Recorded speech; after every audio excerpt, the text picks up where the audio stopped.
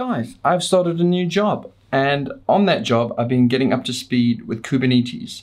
So let me just quickly show what I've learned in a little open source project I have on my GitHub repo. I suggest you install Kubernetes via Minikube on your local machine because doing it on GCP just seems to take forever. But at the moment, it seems to be taking forever. Here, okay, it's up. There's a whole bunch of commands you need to learn. There's a there's a kubectl cheat sheet that you have to get up speed with, but like, oh, oh, this just shows you what it runs just by default. These all these kube-systems. I mean, oh, I, I don't know where to begin, but let, let's just run through this demo. So I have this little project called SLA, and Kubernetes, for those who doesn't know, it's like container orchestration. But the weird thing is, I find, is that these sort of YAML files, these like declare, it's like HTML, declare how the containers run.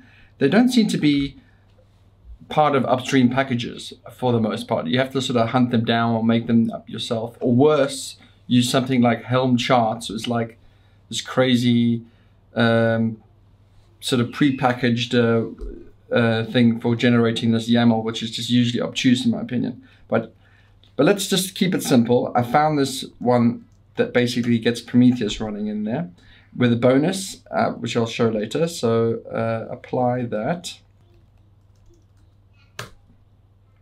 So um, get, that's what my current contest is, Minikube. This is a nice tool called K9S that sort of helps me keep track of things. So I've got Prometheus running and I'm going to get my little uh, test application running. Um, let me just run one of them.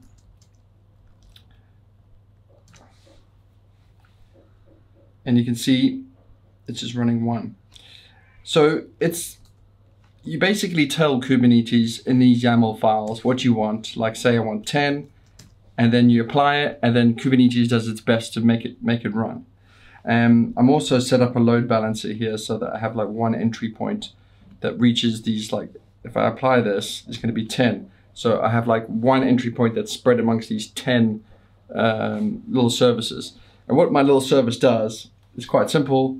It basically, um, it's, it's just a very simple instrumented uh, handler which exports how long it took to handle that request. Interestingly, as you'll as you'll find in this um, instrumentation, it, there's a couple of ways to instrument. I'm using this sort of histogram approach where I'm basically capturing in buckets what where the requests are. It's a little bit complicated, but just just bear with me. Bear with me. So uh, I got Prometheus running. Let me just show you that.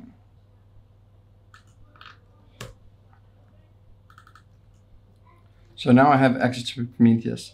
But the cool thing is this that the default YAML I gave before is automatically discovered all these little uh, services from this SLA test program that I have. So let's do a query on, let's do some load testing.